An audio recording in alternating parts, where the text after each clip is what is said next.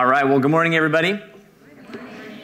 Uh, you know, and just another word on that volunteer day. If you need another reason to sign up, wondering if that's the one day I get to sleep in and you're asking me to show up at 8 a.m. in the morning, well, that's just another way for not only for us to just be a part of the community and do good works that we're commanded to do, but that is also a way for us to connect with each other.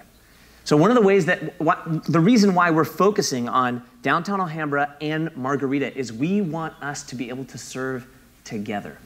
Uh, there's only so much you're going to get to know somebody when you turn around and ask them, How many Ten Commandments can you name?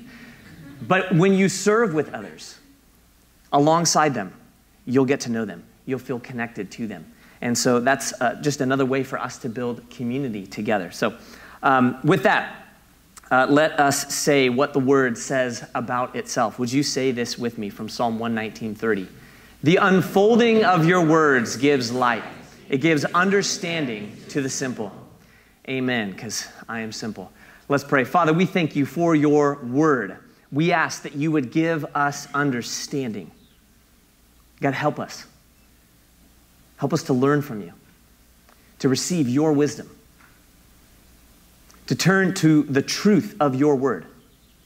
Not our own truth, not our own foolishness, but God, to, to give ourselves over to your ways.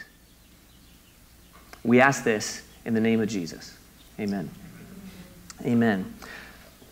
Well, the Ten Commandments are in the news. Uh, Texas has advanced a couple bills requiring the Ten Commandments to be displayed in public classrooms. It has gone through the Senate. It's going to be moving into their House of Representatives. And as you can imagine, there is a lot of differences of opinion. But on, on the right, this is what we have. On the more sort of conservative, evangelical, Protestant right, uh, there are a lot of people pushing to get the Ten Commandments back in schools.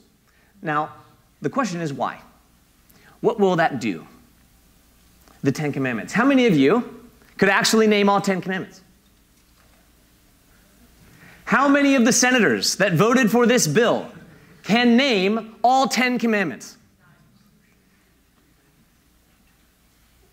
What the Ten Commandments has become, unfortunately, for many in the church, is not the Word of God for us to learn from and receive. It's actually become a token of our religion like a golden calf that we want to set up and force people to bow down to without even understanding what it means for our lives. So on the right, the Ten Commandments are a token. On the left, the Ten Commandments are ridiculous. I, want to read to you uh, from a blog post um, from someone I found online the problem with the Ten Commandments. And this is what he says.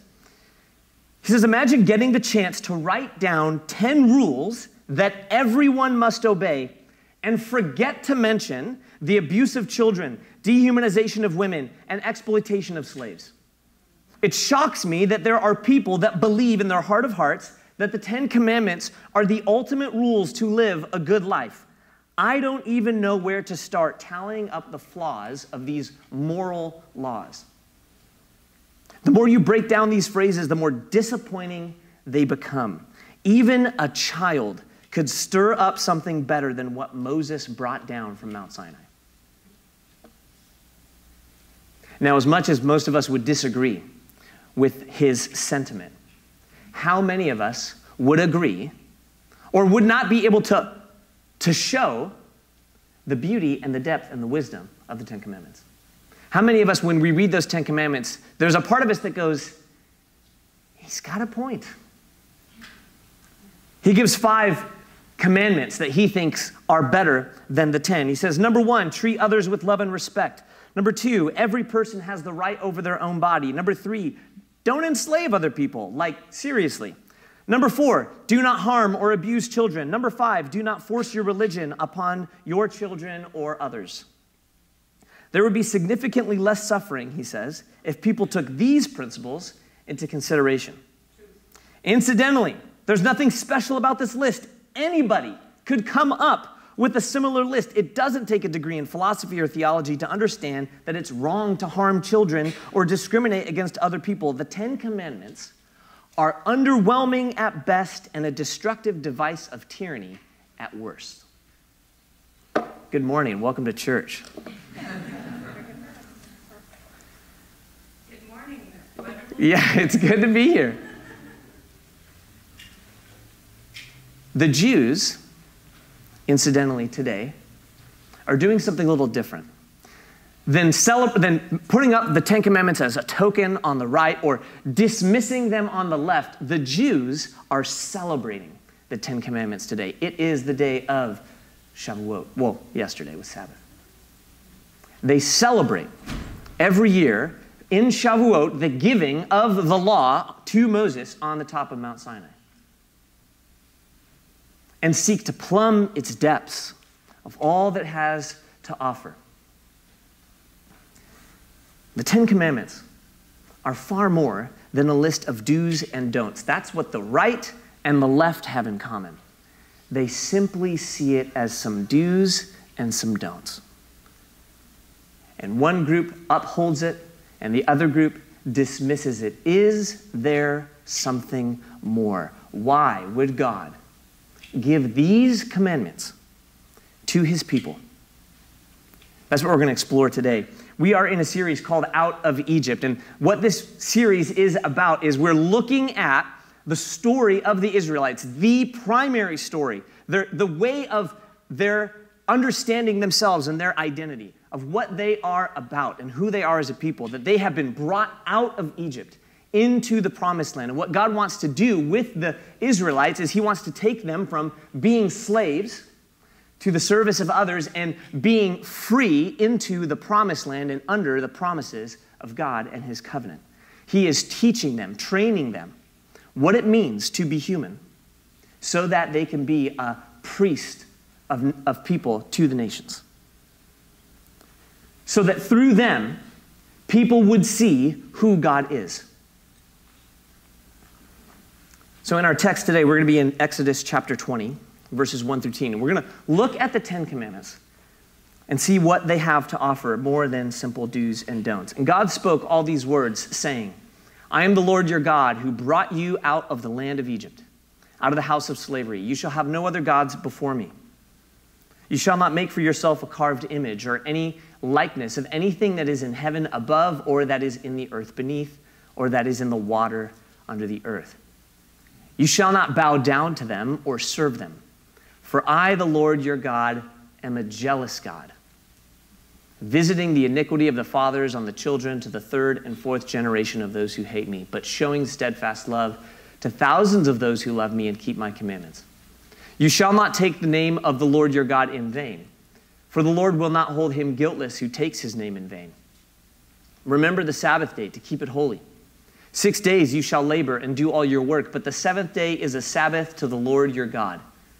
On it you shall not do any work, you or your son or your daughter, your male servant or your female servant, or your livestock, or the sojourner who is within your gates. For in six days the Lord made heaven and earth, the sea and all that is in them, and rested on the seventh day. Therefore the Lord blessed the Sabbath day and made it holy. Now, parents' favorite part honor your father and mother, that your days may be long in the land that the Lord your God is giving you. I know all the parents had that one memorized. That's the one you can name, right, parents? you shall not commit adultery. You shall not steal.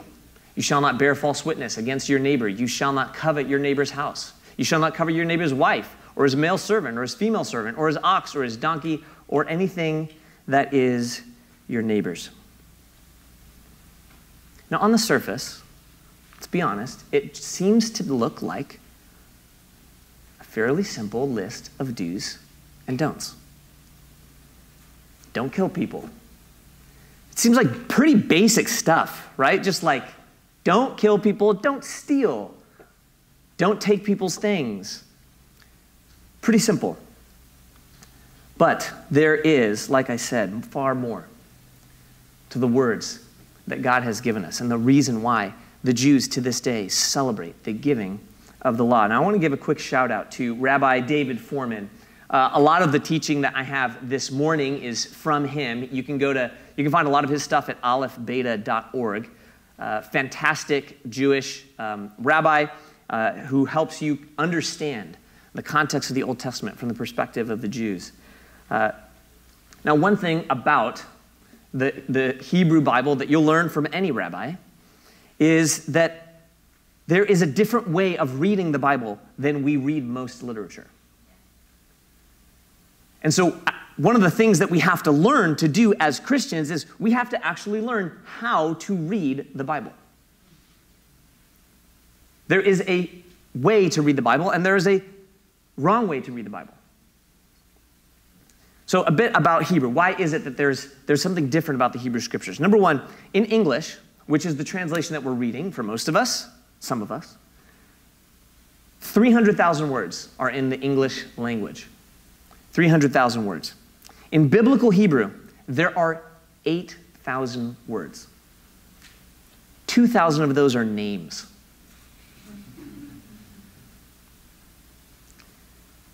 If you understand 641 Hebrew words, it said that you can recognize 80% of the words in Hebrew.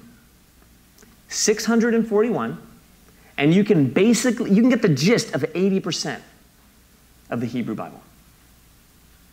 Here's what that means. That means there is a lot more said with much fewer words, which means those sayings are going to be very dense. And those words have elasticity, meaning like a rubber band. Like there's, there's one form it can take, but you can stretch it out and get more. Another reason why there's a certain way that we need to read the Bible is that the Bible was written most, for most of the, of the part on papyrus and vellum, which is sort of like this animal skin, but mostly on papyrus. And those materials were very expensive.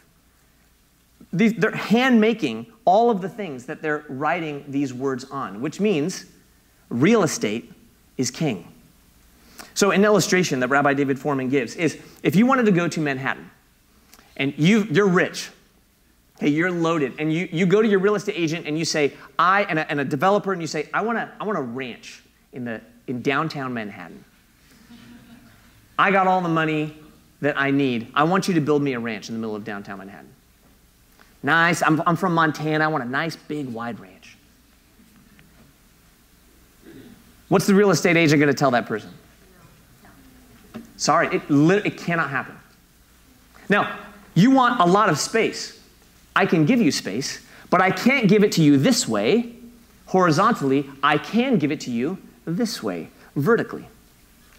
I can give you the same amount, but there's going to be a, a depth that you're going to have to be able to go through this way, vertically, in order to have that same amount of space ironically, I, I was looking up stuff on Manhattan, and Manhattan and New York is like sinking right now at the same rate as Venice.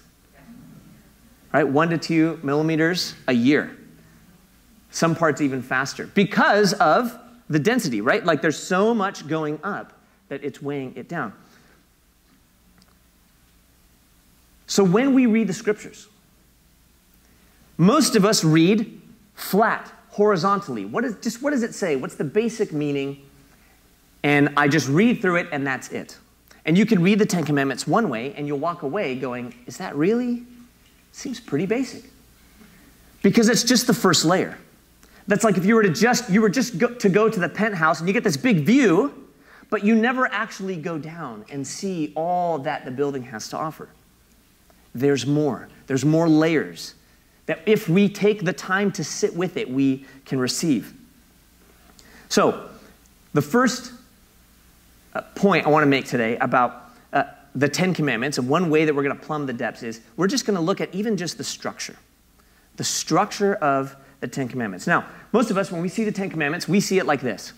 Number one, no other gods. Number two, make no idols. Number three, don't take God's name in vain. Number four, remember the Sabbath. Number five, honor your parents. And then we go on. That's the Protestant version. Did you know there are other versions?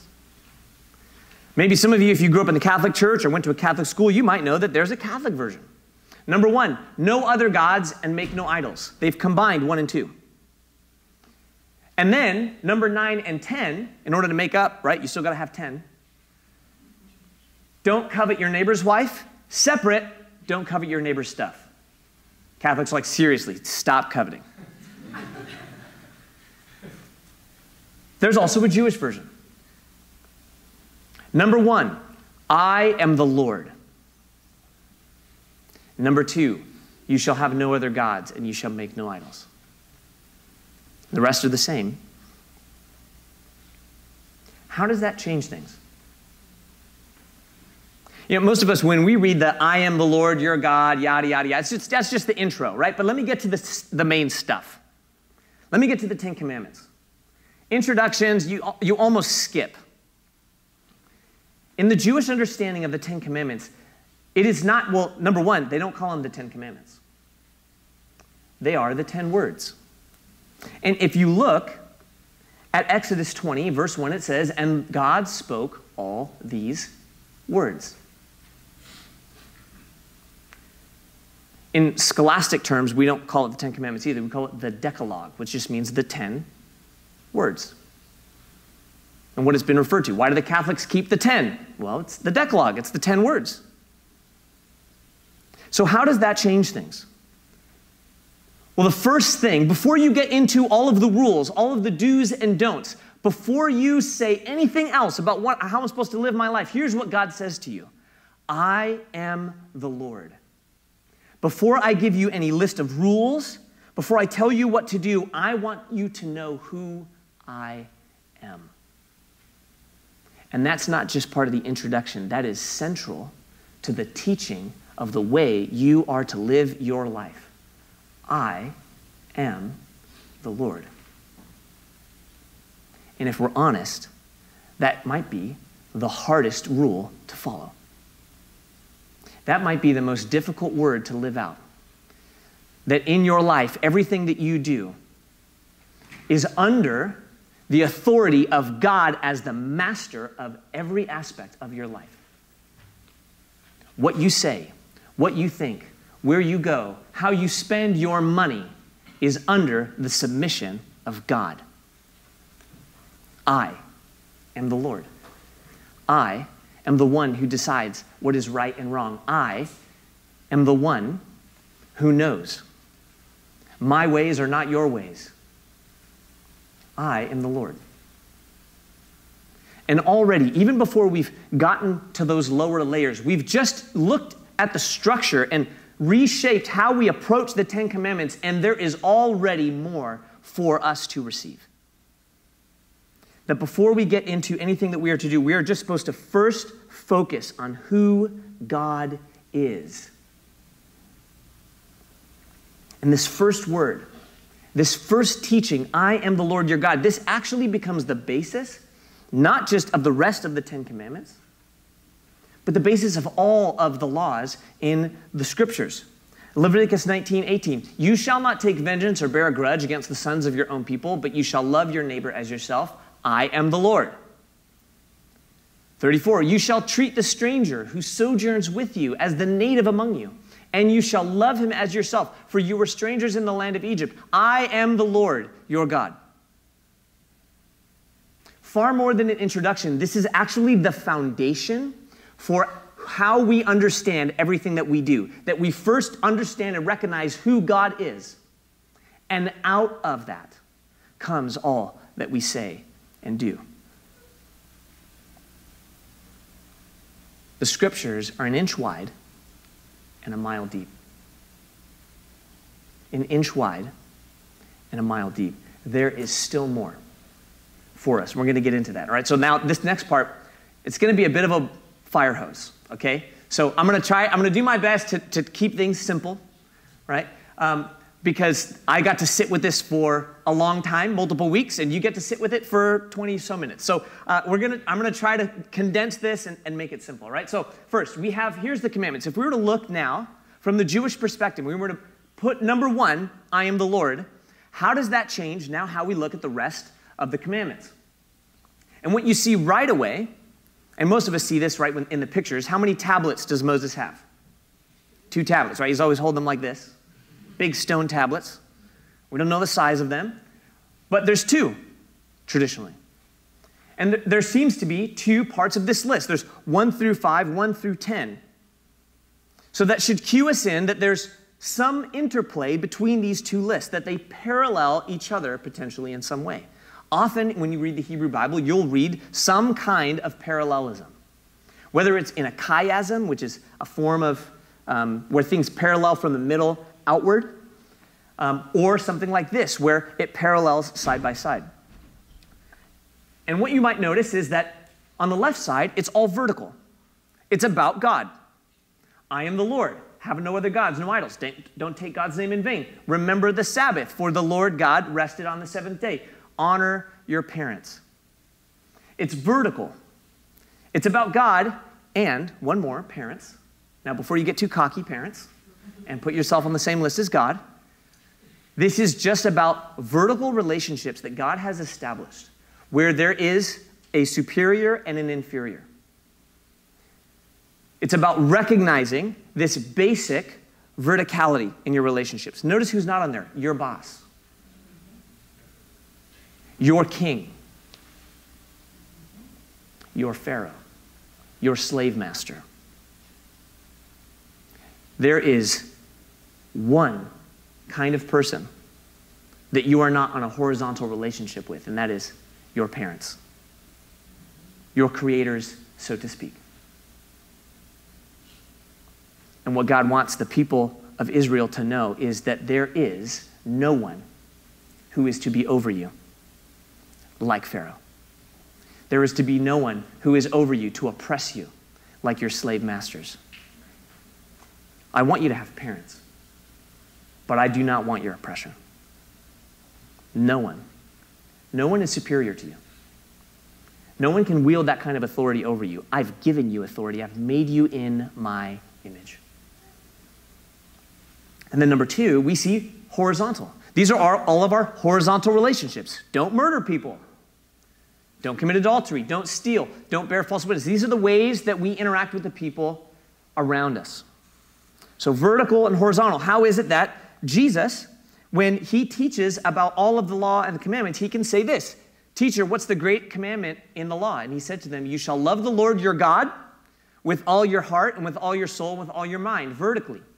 And this is a great and first commandment, and a second is like it. You shall love your neighbor, horizontal, as yourself. On these two commandments depend all the law and the prophets.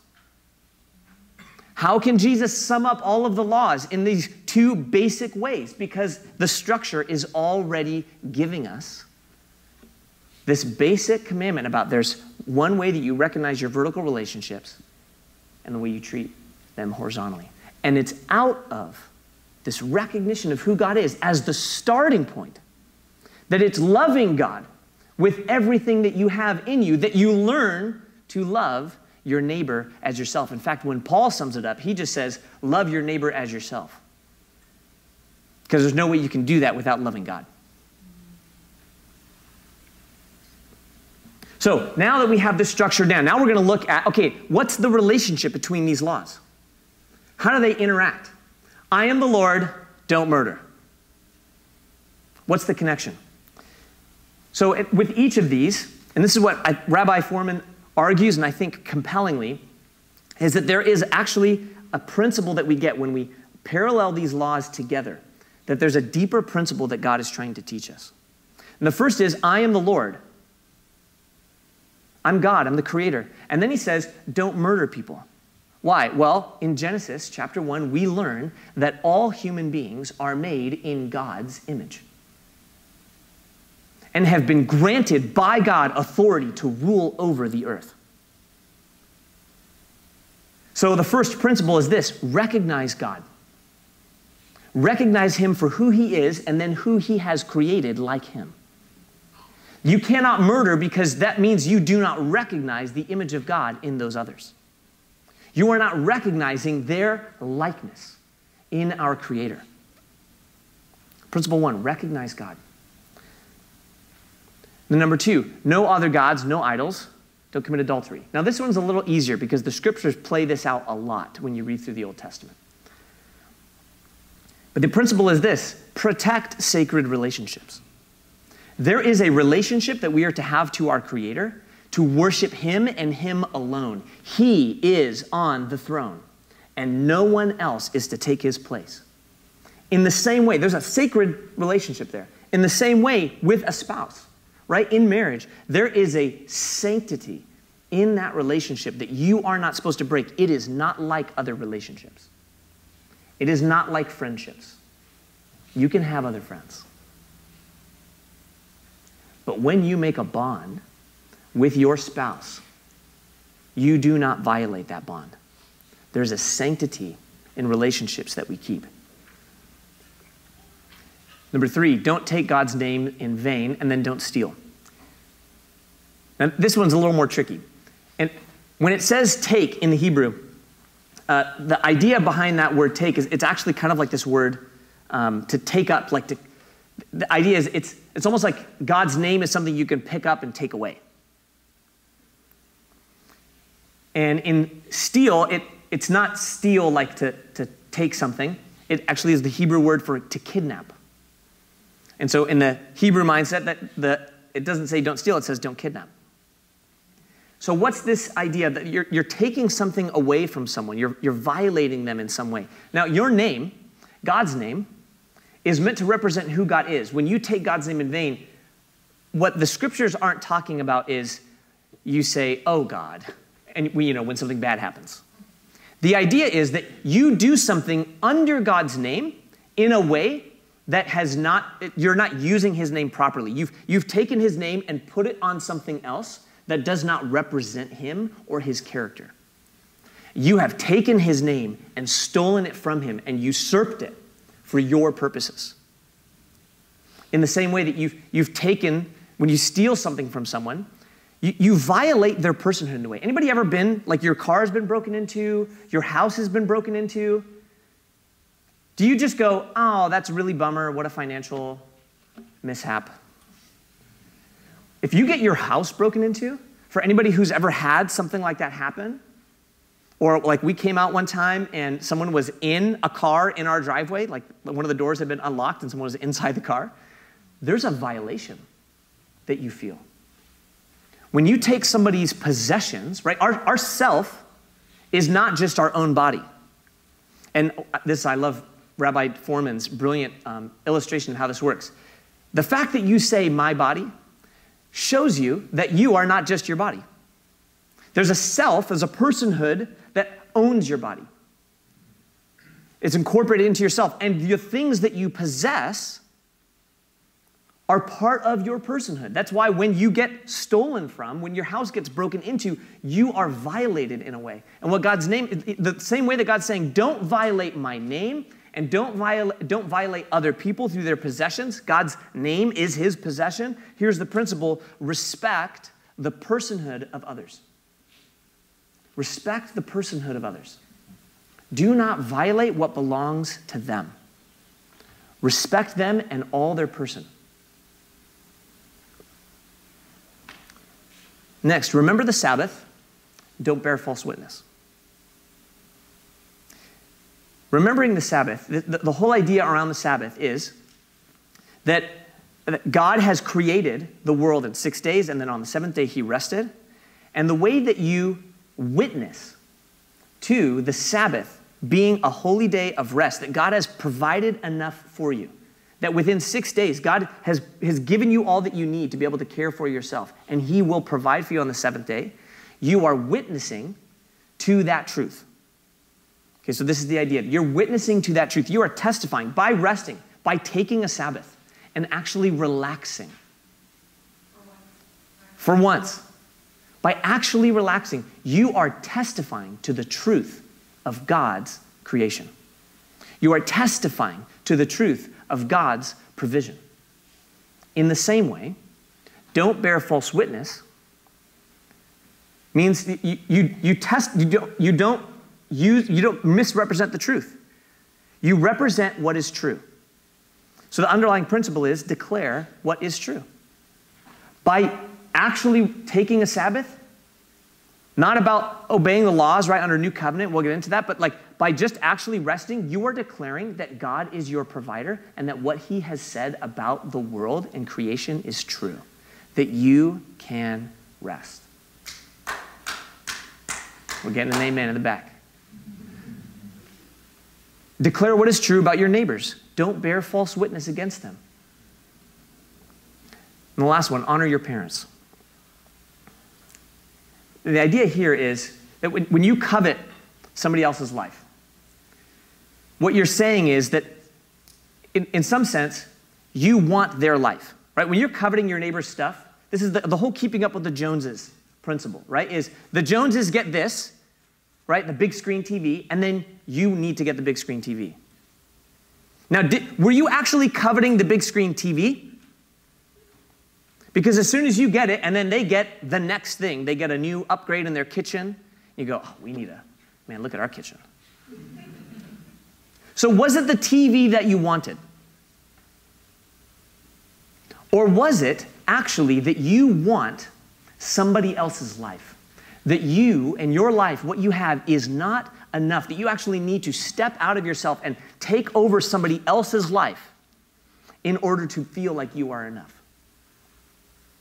And so, even in the scriptures, it's like, don't covet the, the wife, don't covet the male servant, don't covet the female servant, the, don't covet, it just keeps going, right? And the idea is that it's like, it's, when you start coveting something, you're always going to keep coveting the next thing because it's never enough. And you actually are not satisfied with you and what you have.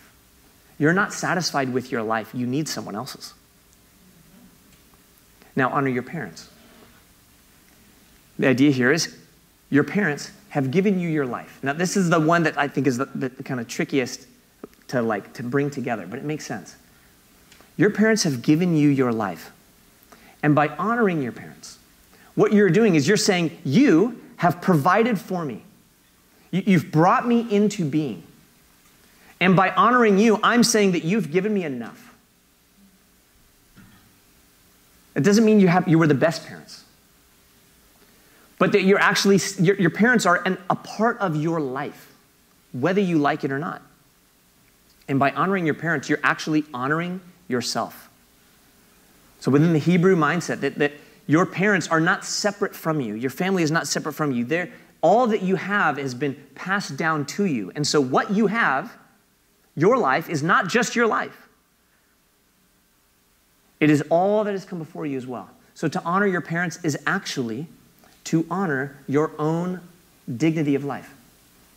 Recognizing that. So the underlying principle is honor your life from those who have given it to you and by not looking to other people's lives and things for you to, uh, to have enough. You're honoring your own life and what you have and be, learning to be content.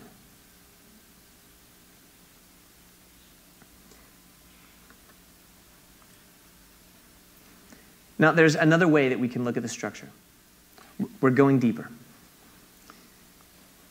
And that's this that not only do they parallel each other in, this, in the commandments, but that when we look from the top down, there's another interplay of uh, the, the laws between each other.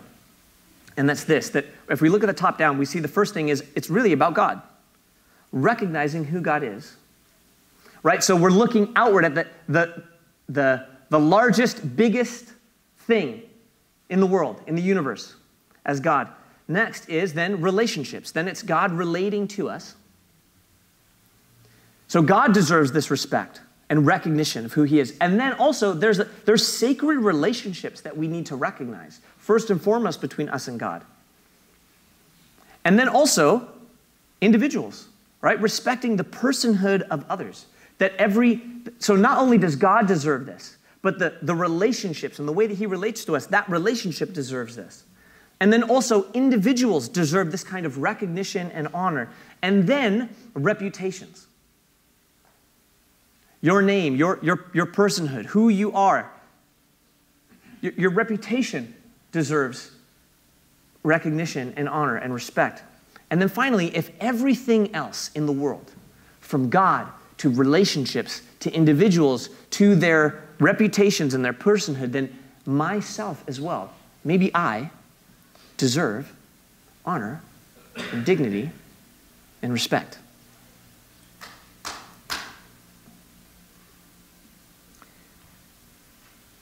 Far more than do's and don'ts, the Ten Commandments are actually teaching us what it means to live fully human lives worthy, honorable, created by our Creator.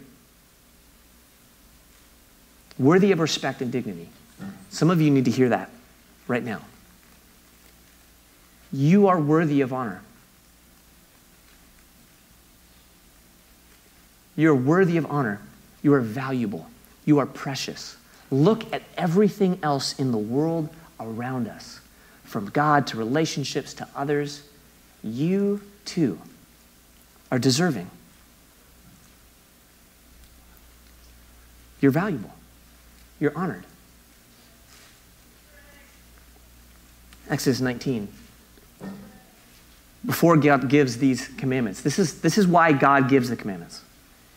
I, have redeemed you, I've brought you out of Egypt, and now I want to teach you and form you into a certain kind of people. Now, therefore, if you will indeed obey my voice and keep my covenant, you shall be my treasured possession among all peoples. For all the earth is mine, and you shall be to me a kingdom of priests and a holy nation. That when you live out these words, that you will show the world who I am. You will show the world what it means to be human how to respect and honor the life of everyone around us. And in a world where nation was against nation, people against people, violence and aggression was the norm, to say to a people, you are going to show the world what it means to respect and honor every person around us. You, as slaves, I'm elevating you to priest even you. And by doing that, God doesn't pick the Israelites because they were the best, because they were super special, because they were super obedient. He picked them because they were slaves, and He wanted to show them by, by flipping this world order around from slaves to priests that this is the kind of God that I am, and this is the kind of world that I have created. And I want to show you what that means. And then coming back to that first point I am the Lord your God who redeemed you out of Egypt. Why else does it matter? Not just for the parallelism. Why does it matter that God starts with, I am the Lord who has redeemed you? Because God wants them to know, you do not follow these in order for me to redeem you. I'll do good things toward you. I'll be loving toward you. I'll establish my covenant with you if, if you can pass the test. If you can be obedient enough, if you can be good enough. Some of us, the way we live in the world is we live under this if I'm good enough, then. That's the way of the world. And God says, No, I have redeemed you. Now I'm inviting you to live into that redemption. Pete Enns, an Exodus scholar, um, or Old Testament scholar who wrote a commentary on Exodus, says the Ten Commandments should not be understood as isolated moral maxims, instructions for personal piety, commands in order for people to win God's favor. They are given to a people already redeemed, not so that they might be redeemed. And what we find as Christians is that in us, that there was, yes, God gave the Israelites this, but we know that the Israelites failed. Ultimately, the Israelites lose the promised land are removed and exiled from it. They could not walk in the ways of God. They did not show God to the world, to the nations. They were not a light. And they turned after other gods. And, and God gave them over. You, look, these are the things you want. You don't want my protection? Let those gods protect you. And ultimately, what the Israelites found is even in their, their attempt to keep the law, we see this in the Pharisees, trying to take all of the priestly laws and apply them to their own lives. If, if we are good enough, then God maybe will redeem us too. In Jesus, what we find is that Jesus goes to the cross even while we were still sinners. And Jesus, to the, the same to us, says, I have redeemed you. I've already paid the price. Jesus has given you freedom,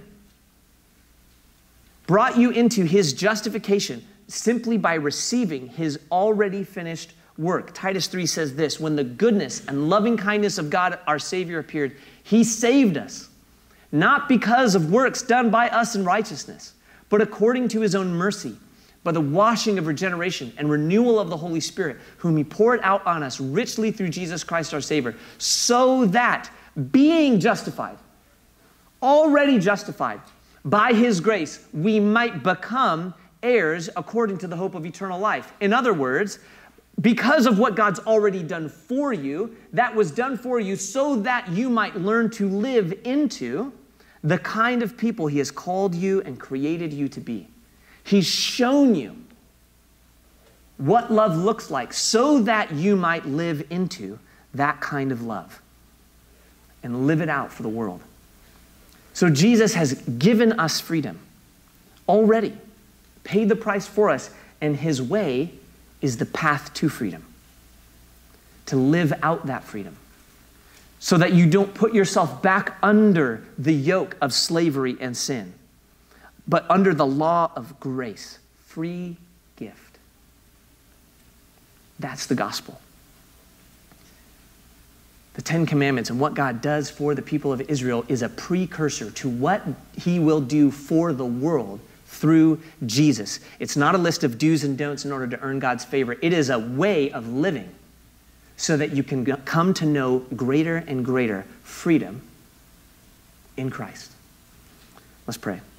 Father, we thank you for your word. We thank you for the giving of your words to the people of Israel. Lord, we thank you for the law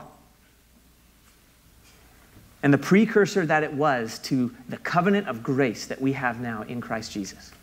God, we pray that you would help us to approach your words, your ways, not as things that we must do in order to be okay in your sight, but rather, Lord, a way for us to live so that we can experience the freedom you've called us to, so that we don't put ourselves under the yoke of sin again, but we might live in the way of freedom and righteousness.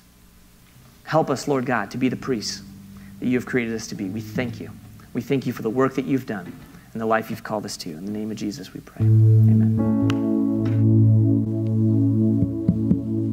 We all stand and join us as we sing of our God.